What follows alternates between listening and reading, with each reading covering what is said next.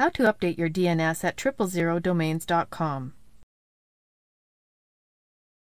This demo assumes you have a domain name registered through triplezerodomains.com and starts from the triplezerodomains.com homepage. Now let's learn how to update the domain name's DNS, Domain Name Server settings. Enter your triplezerodomains.com account name or domain name and password in the boxes here.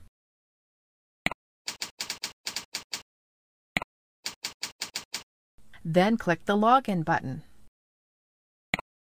You are now logged into your triplezerodomains.com account.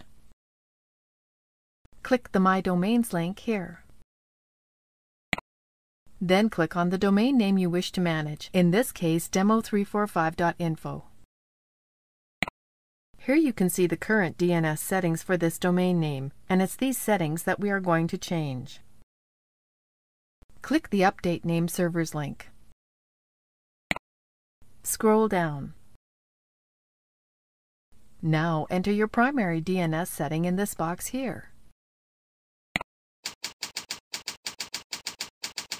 Then click the Add button. Scroll down again.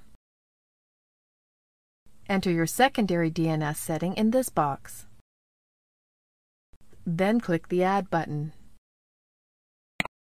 Scroll down.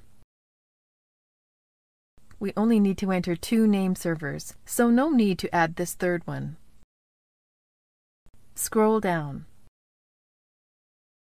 Enter your email address to confirm the changes. Then click Continue.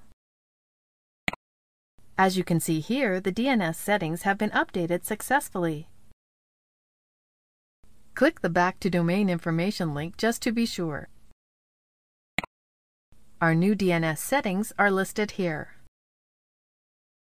Remember that it can take 24 to 48 hours for your domain name to fully propagate after you make these DNS changes. When finished, click the Logout link here.